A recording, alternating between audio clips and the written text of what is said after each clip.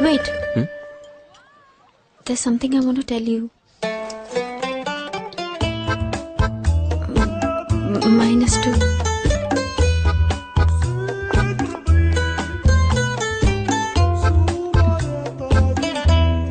E- Even I have something to tell you.